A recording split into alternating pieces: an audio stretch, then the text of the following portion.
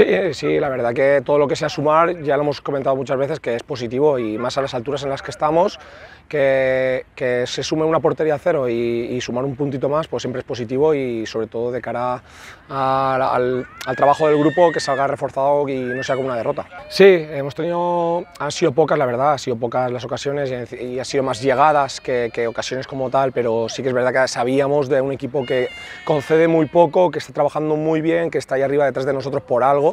y sabíamos que era un partido de, tú a tú y muy igualado y así ha sido, así ha sido. La verdad que en la primera parte a lo mejor hemos estado un pelín más imprecisos, hemos ajustado varias cosas en el descanso, nos han ido bien y hemos tenido un poquito más de presencia arriba en la segunda parte y yo creo que se ha equilibrado un poco el partido. Sí, sí, sí, ya como te decía, eh, eso refuerza el trabajo del grupo, eh, es una sensación de, seguridad la que transmite a, a todos los jugadores y que tenemos que seguir en esa línea.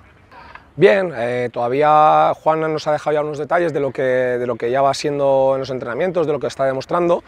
y Leo también. Eh, Leo ha tenido menos tiempo, pero la verdad que yo creo que están por el camino de la adaptación, de, ofrecer cosas al grupo y esperemos que vayan en esa línea creciendo.